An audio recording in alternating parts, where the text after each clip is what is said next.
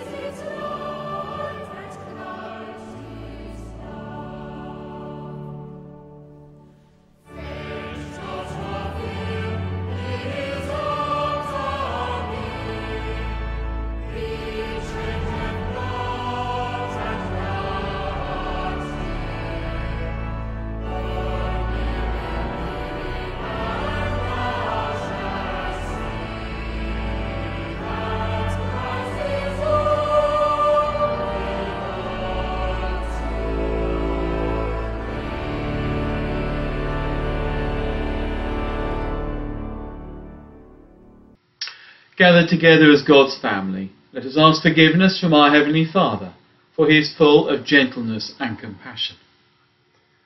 Almighty God, to whom all hearts are open, all desires known, and from whom no secrets are hidden, cleanse the thoughts of our hearts by the inspiration of your Holy Spirit, that we may perfectly love you and worthily magnify your name, through Christ our Lord. Amen. Almighty God, who forgives all who truly repent, have mercy upon you, pardon and deliver you from all your sins, confirm and strengthen you in all goodness, and keep you in life eternal, through Jesus Christ our Lord. Amen. And now we sing the glory.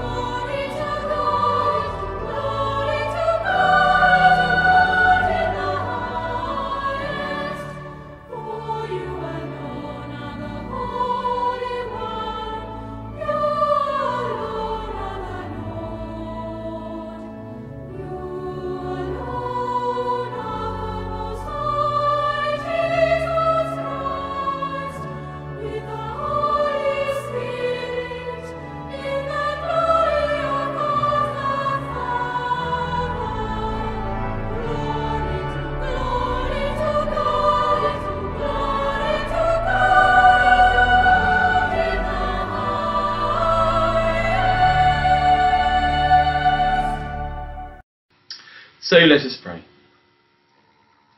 Almighty God, you have broken the tyranny of sin and have sent the Spirit of your Son into our hearts, whereby we call you Father.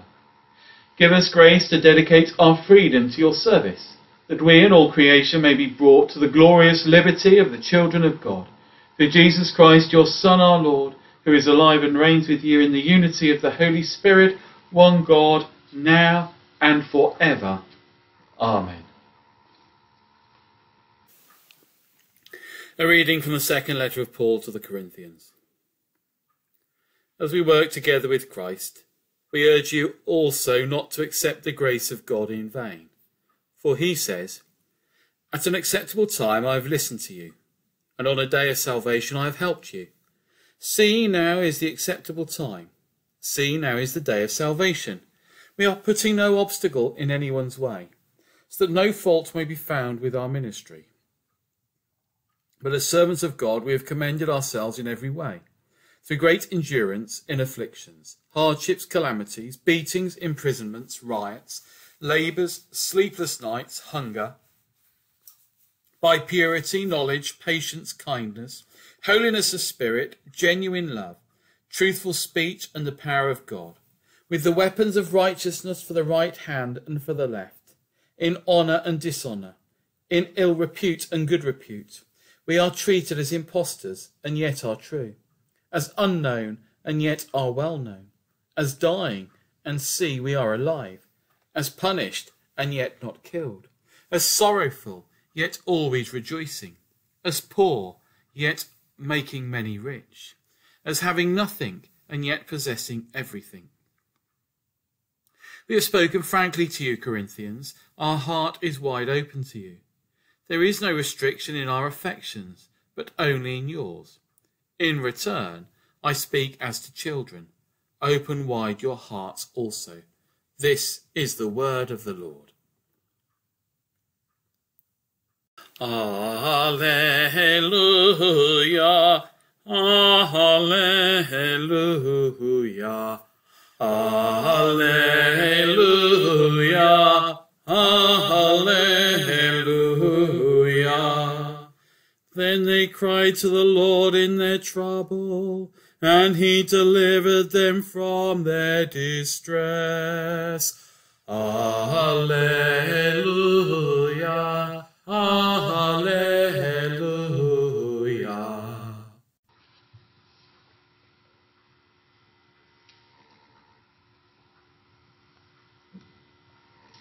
Hear the gospel of our Lord Jesus Christ, according to Mark.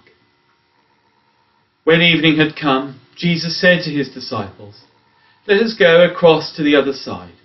And leaving the crowd behind, they took him with them in the boat, just as he was. Other boats were with him. A great gale arose, and the waves beat into the boat, so the boat was already being, already being swamped. But he was in the stern, asleep on the cushion. And they woke him up and said to him, Teacher, do you not care that we are perishing? He woke up and rebuked the wind and said to the sea, Peace, be still. Then the wind ceased and there was a dead calm. He said to them, Why are you afraid? Have you still no faith? And they were filled with great awe and said to one another, Who then is this, that even the wind and the sea obey him? This is the gospel of the Lord. And now I speak in the name of God, Father, Son, and Holy Spirit. Amen. Today's Gospel reading tells us to put our trust in God. There are times where our own lives go through gales and storms and troublous times. There are times where we wonder why God is silent. But we should be reassured that God will never leave us. God will never leave us alone to perish.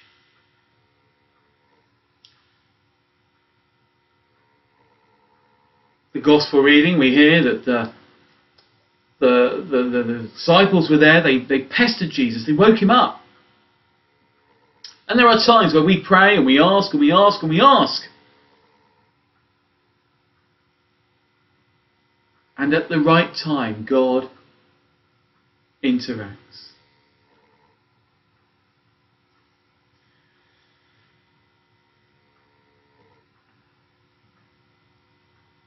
They left the crowd behind, but some followed on boats.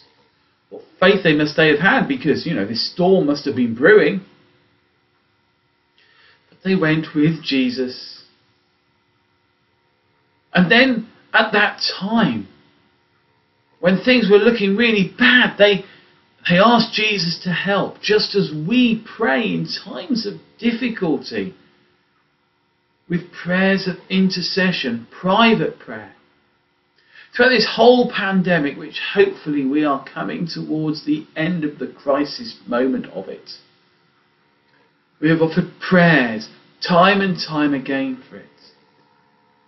For those who are suffering from it, those whose lives are affected by it, those who are working through it, those who are assisting us, those who are working with the vaccine when we didn't have a vaccine, for those who have been administering the vaccine and now we give thanks that so many people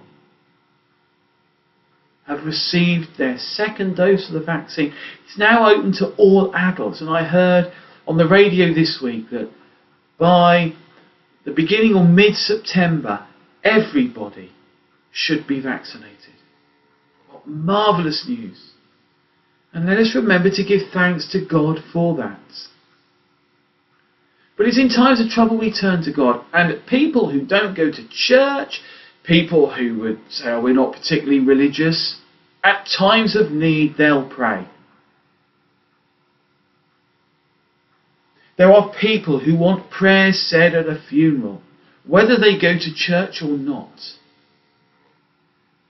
They want that prayer for them. I say to I say to, to families, look, you know, I tend to do it where we have a prayer for give thanks for the life of the person who's died. We give prayers for those who mourn, and then we say the Lord's Prayer. We also then have a prayer at the commendation and committal. And we have a prayer of blessing at the end. These are important parts.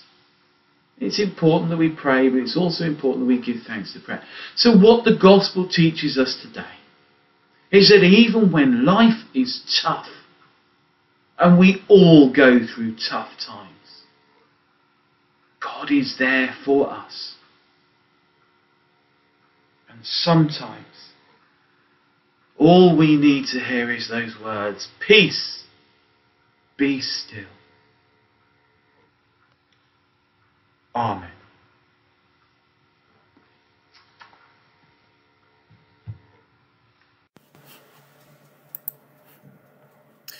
Let us declare our faith in God as we say together, We believe in God the Father, from whom every family in heaven and on earth is named.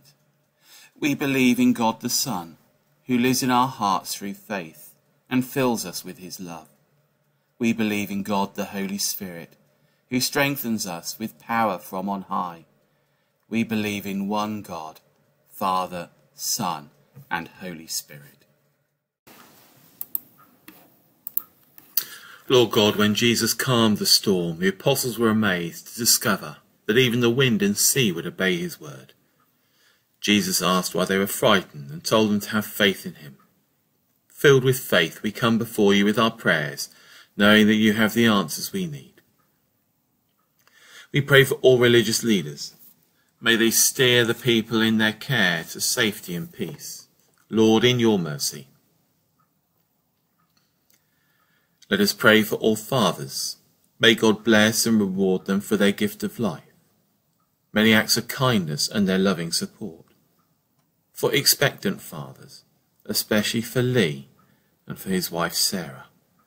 Lord, in your mercy. Lord, we pray for people in local, national international governments May they be sensitive to their responsibilities to care for the environment and to ensure safe water supplies for their constituents. Lord, in your mercy. Let us pray for seafarers across the world. When they meet stormy waters, may they find a safe harbour. May those who are threatened with poor working conditions find the security which they and their families need. Lord, in your mercy. Let us pray for all who are infected and infected by COVID. As the numbers increase drastically, may those who are sick recover their health and may frontline workers find the support they need during these days of uncertainty. Lord, in your mercy.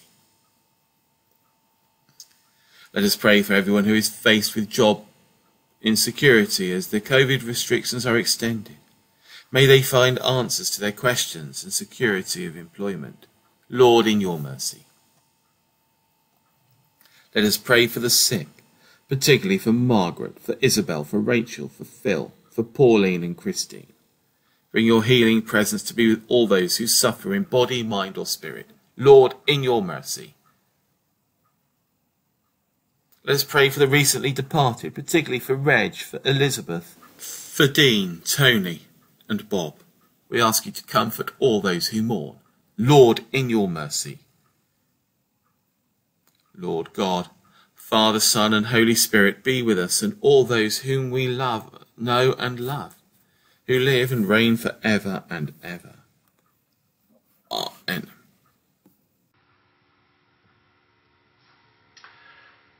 Blessed are the peacemakers, they shall be called children of God. We meet in the name of Christ and share his peace. The peace of the Lord be always with you. And now let us sing our hymn.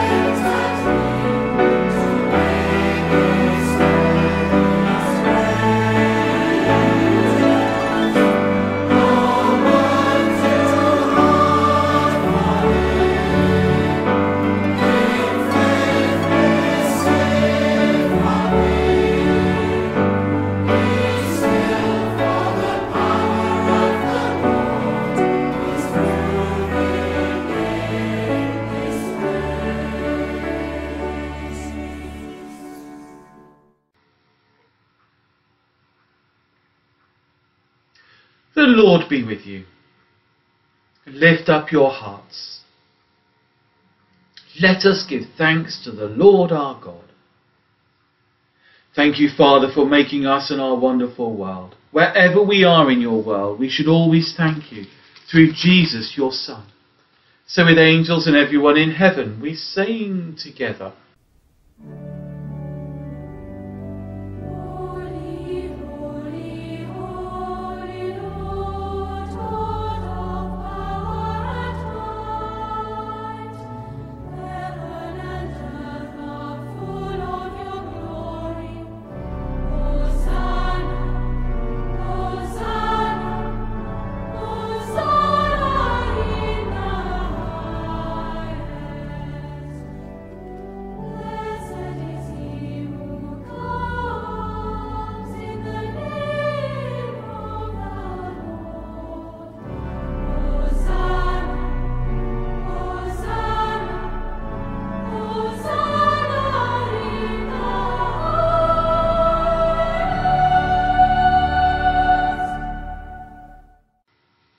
Great and wonderful Father, we remember when Jesus had supper with his friends the night before he died. He took bread. He thanked you, broke it, and gave it to his friends and said, Take this and eat it. This is my body given for you. Do this to remember me. After supper, Jesus took the cup of wine. He thanked you and gave it to his friends and said, All of you drink from this cup, because it is my blood, the new promise of God's love. Do this every time you drink it to remember me. Let us proclaim the mystery of faith. Christ has died, Christ is risen, Christ will come again.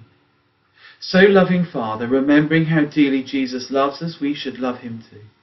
Send your Holy Spirit, gentle as a dove, on us and on these gifts, that everyone who eats and drinks this bread and wine, body and blood of Jesus, we may be full of your life and goodness. Help us to walk hand in hand with Jesus and live our lives with him. All honour and glory belong to you, Father, through Jesus your Son, with the Holy Spirit, one God for ever and ever. Amen.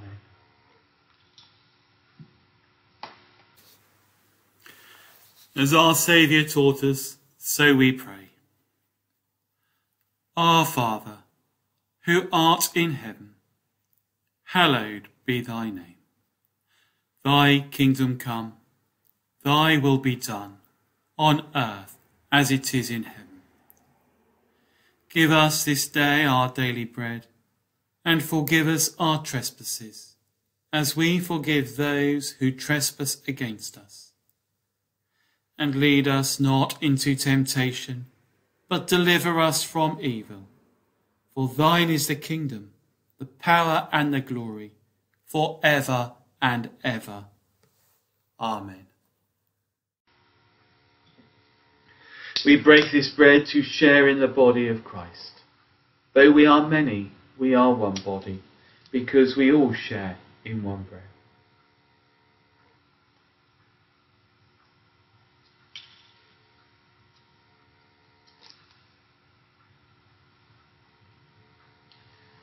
This is Jesus, the Lamb of God, who takes away the sin of the world.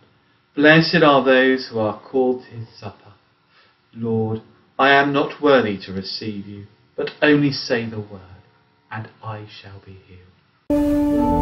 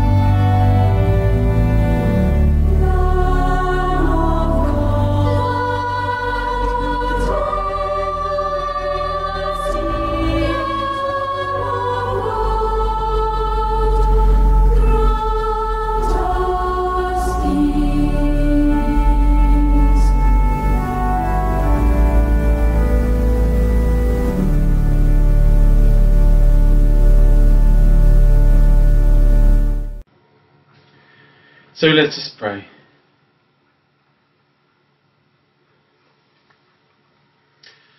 O God, whose beauty is beyond our imagining and whose power we cannot comprehend, show us your glory as far as we can grasp it, and shield us from knowing more than we can bear, until we may look upon you without fear.